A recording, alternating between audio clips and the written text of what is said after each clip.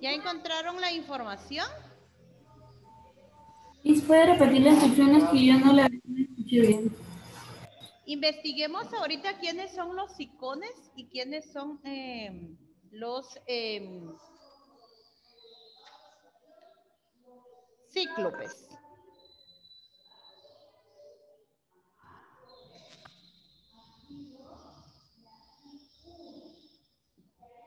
A ver, ¿quiénes son ellos? Lo investigan, por favor, y me lo comparten.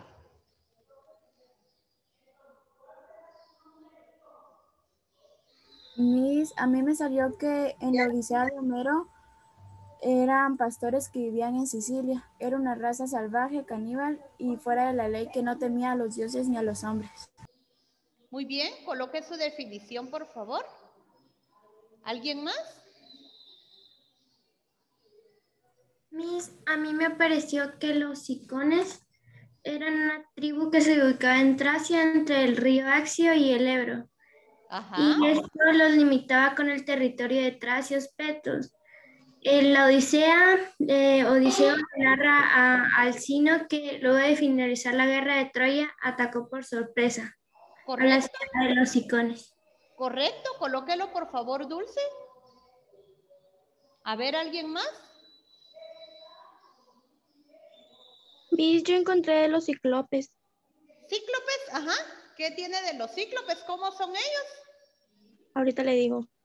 Eh, los cíclopes en la mitología griega, los cíclopes eran miembros de una raza de gigantes con un solo ojo en la mitad de la frente. Correcto.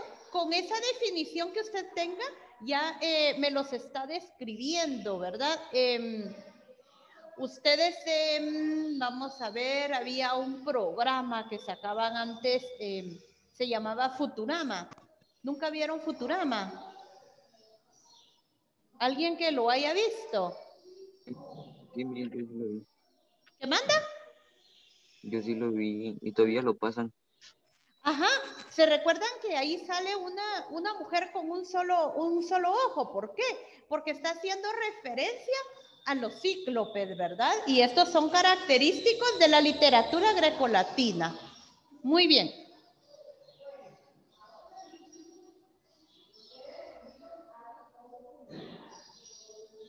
A ver, ¿quién ya tiene la definición de estos dos, de estos dos términos?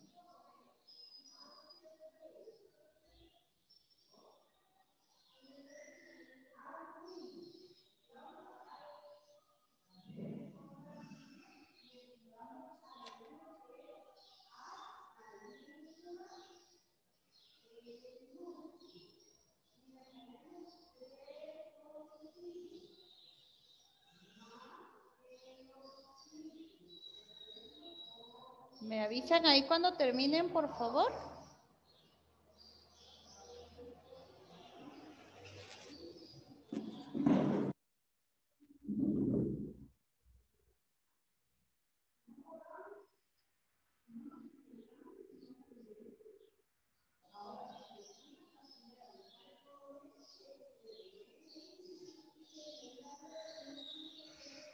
Dice, la tribu de los eh, habitaba en Tracia, entre el río Axio y el Ebro, que limitaba con el territorio de los eh, tracios petos en la Odisea. Odiseo le narra a Alcino que tras finalizar la guerra de Troya atacó por eh, sorpresa Ismaro, ciudad de los Sicones.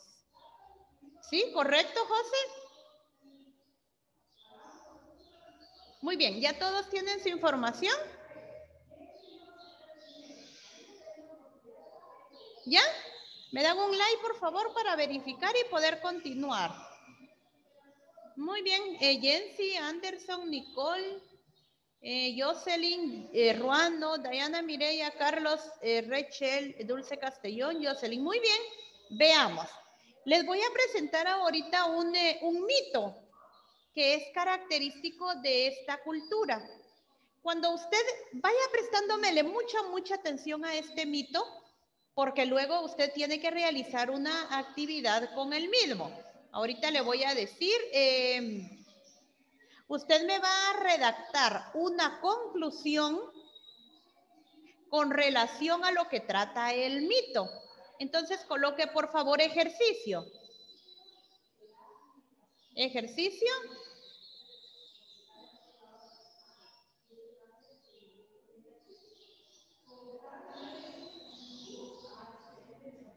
Redactar una conclusión acerca del mito. Cuando termine de ver la presentación, le coloca el nombre al mito. Oye, por favor, redactar una conclusión acerca del mito. Cuando usted termine de ver eh, la presentación, agarra un marcador de un color bonito y va a colocar el título del mito, por favor. Muy bien, ahorita se los voy a compartir. Vamos a colocarlo acá. Es muy cortito el mito. Bueno. Es muy cortito, pero es muy bonito. ¿Oyeron? Ahí le prestan mucha atención. Porque luego tiene que redactarme una conclusión general con relación a lo que este trata. Nosotros tenemos a papá y mamá, a nuestros abuelitos, y a nuestros profesores y profesoras para preguntarles cuando no sabemos algo y queremos enterarnos. Pero aunque sean mayores, no lo saben todo. Cuando los hombres que vivieron hace muchos, muchos años querían buscar alguna explicación a algo raro, como no sabían tanto como sabemos ahora, lo que hacían era crear cuentos. ¿Sí? Historias inventadas que se llamaban mitos. Y así explicaban preguntas tan difíciles de responder como ¿por qué existen el dolor, las guerras, las enfermedades? ¿O por qué la esperanza es buena? ¿Por qué es lo último que se pierde? Y entonces crearon el mito de Pandora para explicarlo.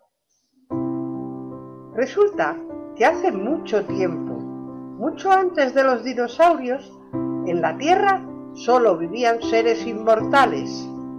¿Qué quiere decir esto? Eso es, los hombres no se morían nunca. En otro lado, en el Olimpo, vivían los dioses. También eran inmortales. Pero entonces, ¿qué diferencia había entre los hombres y los dioses? Pues la diferencia era que los hombres no tenían sabiduría.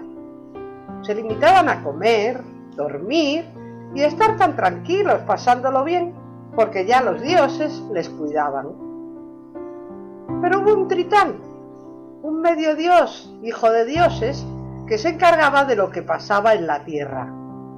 Se llamaba Prometeo. Según esos cuentos, dejó que su hermano Epimeteo repartiera virtudes son cosas buenas, a las criaturas que aquí vivían. Y entonces empezó con los animales. A uno les dio las alas para volar, a otros escamas para nadar, a algunos fuerza, a los débiles les dio agilidad y así hasta que ya no quedaban más virtudes que repartir. Pero se había olvidado de los hombres que ni eran fuertes, ni podían volar o nadar, ni tenían colmillos o garras para cazar.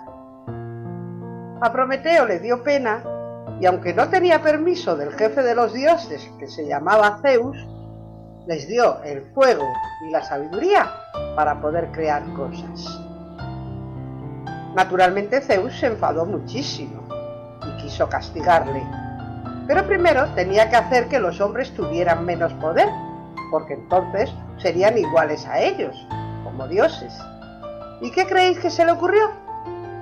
Pues como el hermano de Prometeo la verdad es que no era muy espabilado, Zeus pensó en hacerle un regalo. Bueno, algo que pareciera un regalo, porque en realidad estaba tan envenenado como la manzana de la madrastra de Blancanieves.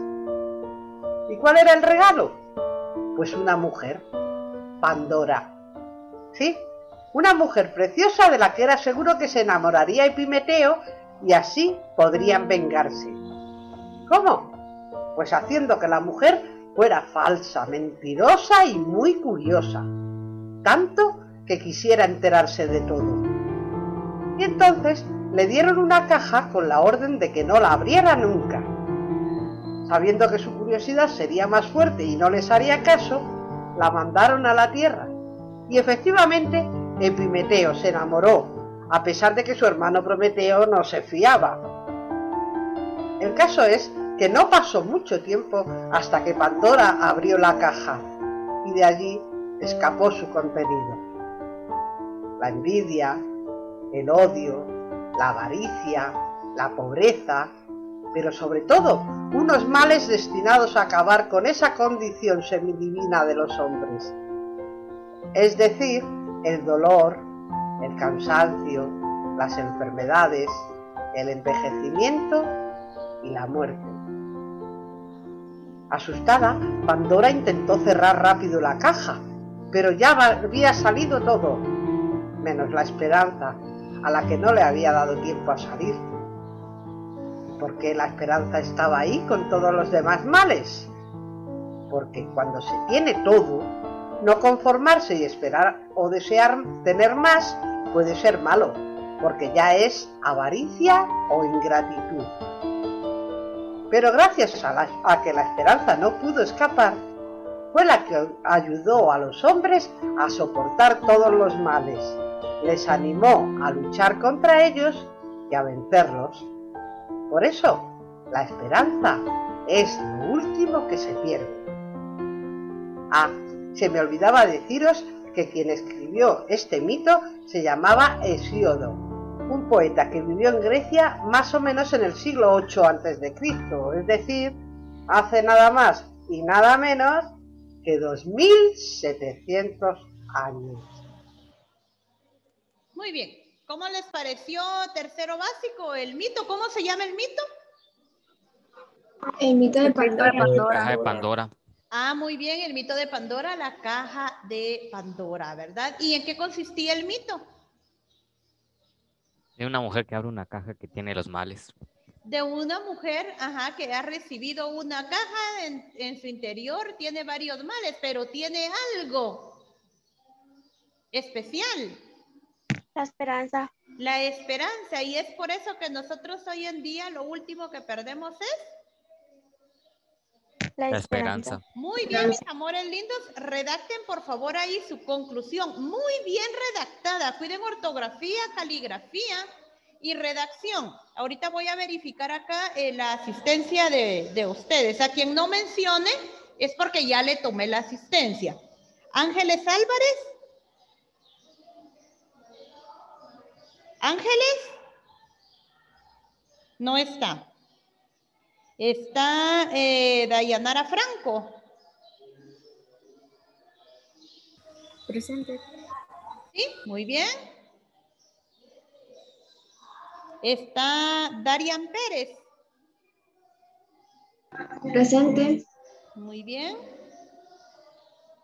Está Wendell. Wendell.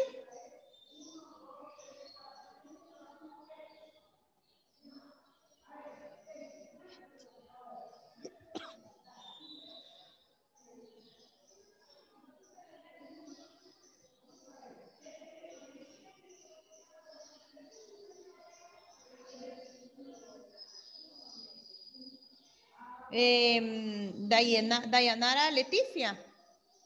Presente. Carlos Danilo. Presente. Jensi.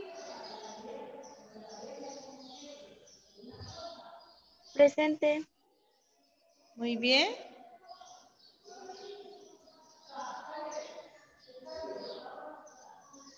Muy bien, ahí estamos jóvenes. Entonces, solo eh, me van a mostrar su conclusión. Redacten tranquilos, nadie los va corriendo y redacten bien, por favor. ¿A qué conclusión llegamos nosotros con el mito de Pandora? En primer lugar, a que no debemos ser curiosos. Eso fue lo que le perjudicó a Pandora, ¿verdad? Y en segundo lugar, esto tuvo algo bueno también. Que nunca debemos perder la esperanza. Correcto, que nunca debemos perder la esperanza, ¿verdad? En cualquier situación en la que nosotros estemos, si se dan cuenta, nunca decimos de una vez, ay, no, no se puede, no se puede, rotundamente. No lo decimos todavía, tenemos la esperanza de que eso se puede lograr a, a, a ejecutar, ¿verdad?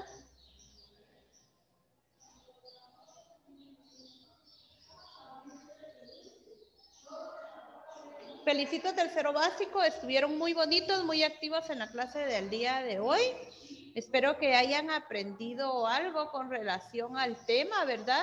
Que se hayan em, transportado a una época muy, muy antigua, ¿verdad? Como lo es eh, eh, cuando sobresale la literatura grecolatina, ¿verdad? Y sabemos muy bien que nos referimos a obras que pertenecen a dos culturas los griegos y los romanos. El día de mañana nosotros vamos a ver eh, em, más con relación a, este grupo, pero nos vamos a enfocar más en los géneros que sobresalen de ellos. Muy bien. Trabajen, por favor. Si usted ya terminó, me lo muestra.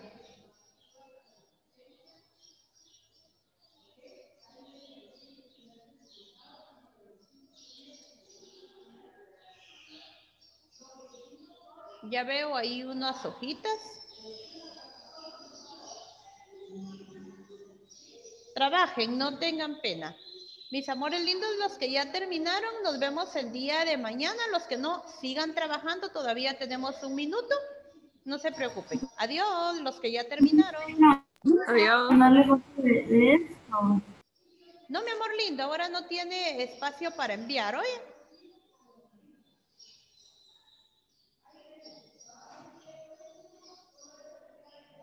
Adiós, mis. Adiós.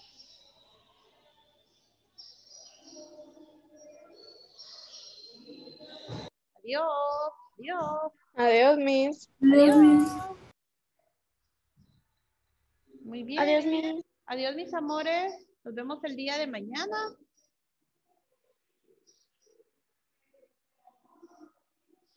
Muy bien, pueden bajarlo, mis amores. Nos despedimos el día de hoy y nos vemos hasta el día de mañana. Adiós, mis. Adiós, mis. Mis y los que aún no han terminado. Tienen que terminarlo y lo, lo dejan en su hojita. Miss, hoy no hay que enviar nada, ¿verdad? No, mi amor, hoy no envían nada. Ah, bueno, mis, gracias, adiós. Bueno, adiós, mis amores bellos.